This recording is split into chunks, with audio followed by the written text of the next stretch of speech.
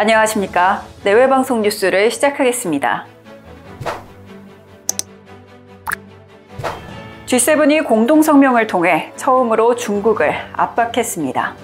신장과 홍콩, 타이완 문제에 대한 중국의 태도를 거론하며 우려를 표한 건데요. 미국 바이든 대통령은 G7 정상회의에서 중국을 향해 책임있게 행동하라고 촉구했습니다. 이어 코로나19 기원설 조사에도 적극 협력할 것을 요구했습니다. G7도 폐막 성명을 통해 중국을 정면으로 비판하며 미국의 입장에 동조했습니다. 이번 회의를 계기로 중국에 맞서는 민주국가 연대가 뚜렷해지고 있습니다. 문재인 대통령이 현지 시간으로 13일 오스트리아에 도착했습니다. 문 대통령은 G7 회의로 영국을 방문한 뒤 유럽 3개국을 순방 중인데요. 오스트리아 방문은 1892년 양국 수교 이후 처음입니다. 문 대통령은 오는 15일까지 2박 3일 동안 수도 빈에 머물며 국빈 방문 일정을 소화합니다. 청와대 관계자는 과학기술 선도국인 오스트리아와 협력 방안을 논의하고 한반도 평화 프로세스에 대한 적극적인 지지도 재확인할 수 있을 것이라고 밝혔습니다. 다음 달부터 해외에서 코로나19 백신을 완료한 사람은 입국 시 자가격리가 면제됩니다. 그동안은 해외에서 백신을 맞아도 귀국 후에는 자가격리가 요구됐습니다. 그러나 기업인과 교민 등의 불편을 해소하기 위해 이 같은 조치를 시행하기로 했습니다.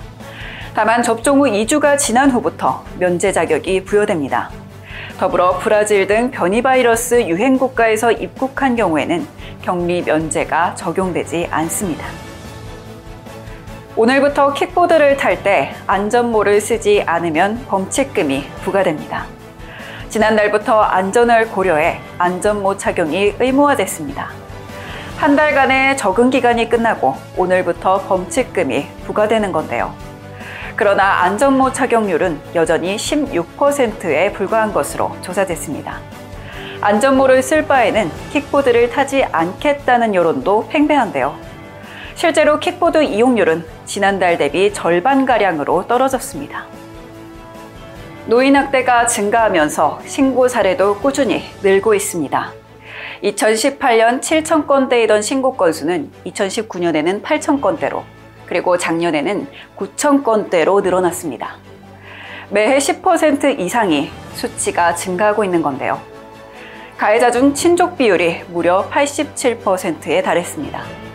이에 따라 경찰청은 제5회 노인학대 예방의 날을 맞아 한 달간 노인학대 예방 근절을 위한 홍보 활동을 펼칠 것이라고 밝혔습니다. 가족이 남보다 못하다는 말이 요즘 많이 들립니다. 안타까운 말이지만 가족이라는 정체성보다는 인권이라는 개인의 정체성이 더 우선시돼야 할 것 같습니다. 뉴스 마치겠습니다. 지금까지 시청해주신 여러분 고맙습니다.